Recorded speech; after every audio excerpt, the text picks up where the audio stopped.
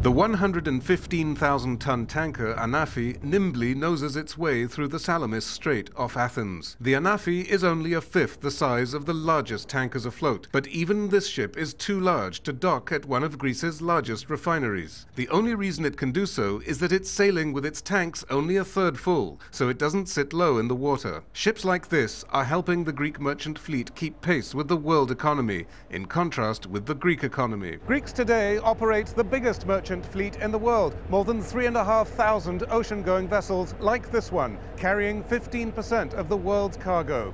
They generate business worth $18 billion a year at home. That's more than 6% of the Greek economy. But this is a success story written by Greeks, not by Greece. Fewer than a thousand Greek ships fly the Greek flag because that obliges them to employ more Greek crew members, raising costs. And Greece loses out on shipping-related business, such as insurance, supply, shipbuilding and repair. The government wants to concentrate these in a shipping cluster at the port of Piraeus. The owner of the Anafi says Greece used to be closer to that goal. Politicians moved it backwards. In the 80s, we had the, the strongest ship repair um, industry in the Mediterranean. Anybody who would want a, a good job done uh, quickly would come to Greece.